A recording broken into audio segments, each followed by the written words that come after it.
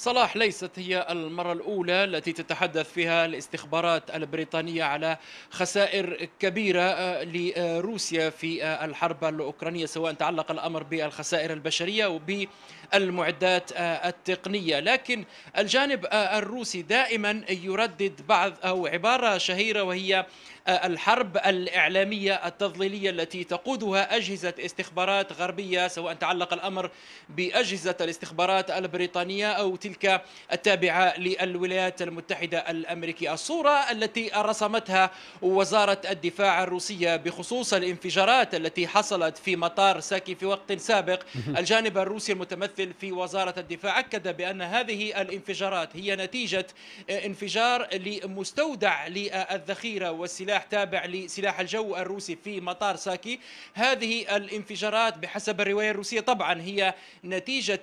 عدم احترام إجراءات الوقاية والسلامه من الحرائق. وبهذا تكون وزارة الدفاع الروسية قد نفت في وقت آه، سابق التصريحات أو آه، الرواية الأوكرانية التي تحدثت بأن القوات الأوكرانية استهدفت عن طريق صواريخ عالية آه، الدقة ما وصفته بالمطار العسكري في منطقة شبه جزيرة القرم. ونتيجة هذا أو هذا الاستهداف كما يقول الجانب الأوكراني تم تدمير عدد من المقاتلات والقاذفات الاستراتيجية الروسية التي كانت في مدرج مطار ساكي في منطقة شبه جزيرة القرم الجانب الروسي أوضح بشكل مفصل بأن هذه الانفجارات التي وقعت في وقت سابق في منطقة شبه جزيرة القرم هي نتيجة حريق في مستودع للذخيرة والسلاح نعم. وليس كما روجت له الجهات أو السلطات الأوكرانية وحتى أجهزة الاستخبارات البريطانية بأن مطار ساكي تعرض لرشقات صواريخ أو هجمات عن طريق تطبيق الصواريخ من طرف القوات الأوكرانية. طيب ما جديد الاتهامات المتبادلة ما بين موسكو وكييف بشأن زاباروجيا عقب جلسة الأمن؟ الاتهامات لا تزال متواصلة بين الجانبين بين آه، الطرف الروسي والطرف الأوكراني منذ قليل فقط السلطات آه، التابعة لمنطقة زاباروجيا أكدت بأن القوات الأوكرانية واصلت آه، القصف على محيط محطة زاباروجيا وأن بعض القذائف سقطت فقط على بعد عشرة أمتار من المفاعلات النووية والأماكن المخصصة للنفايات النووية داخل محطة زاباروجيا موسكو تحذر قبل جلسة الأمن وبعد جلسة الأمن تحذر من إمكانية أن يتكرر سيناريو تشيرنوبل في منطقة زاباروجيا عن طريق مواصلة القوات الأوكرانية استهداف هذه المنطقة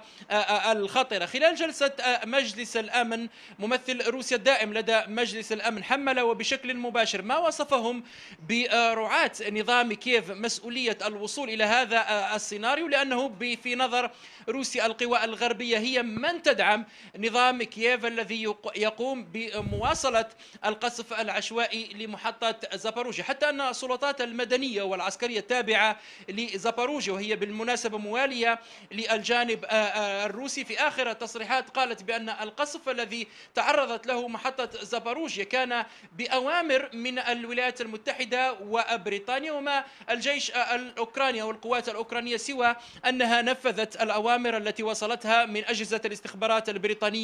والأمريكي هناك اتهامات متبادلة بين موسكو وكييف. هناك محاولة لاستغلال هذا الملف على الأقل الجانب الروسي رفض فكرة أن تكون منطقة زاباروجيا منزوعة السلاح وخالية من الجيش الروسي. وشاهدنا هذا عن طريق ممثل روسيا الدائم لدى مجلس الأمن الذي قال بأن الجيش الروسي يقوم بتوفير الحماية والسلامة لمحطة زاباروجيا وأن انسحاب القوات الروسية من هذه المنطقة